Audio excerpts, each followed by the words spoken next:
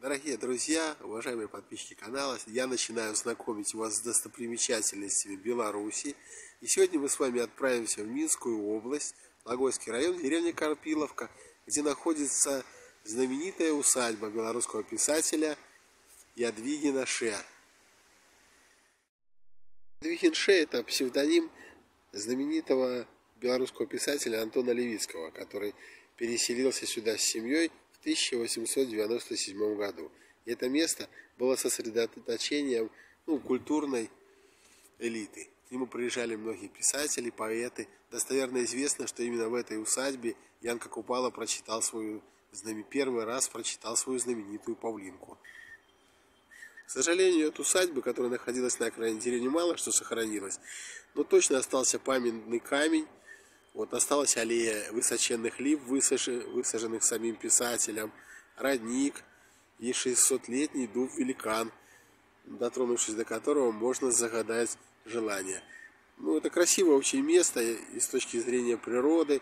Там всегда много посетителей, и любителей природы и любителей творчества писателя. Ну что, предлагаю смотреть, будет интересно.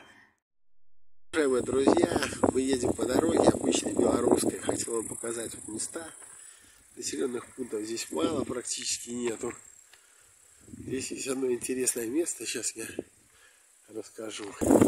Красивый здесь лес, надпись «Сядиба Ядвига Ше». Ше, вот въезд такой. Открыто все. Пока открыто, что-то сломано.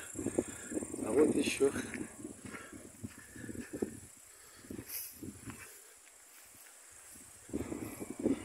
Так, это историческая культурная ценность. Историко-культурная каштовность. Фрагменты былой сядзібы Ядвігі Ше. Другая полова 19 стагодня. Причинение шкоды карается по закону обязательно как-нибудь сюда заеду, посмотреть эту сядзиву. Очень интересно, интересный заезд. И вот туда вглубь идет дорога. Я немножко уже покажу вам леса.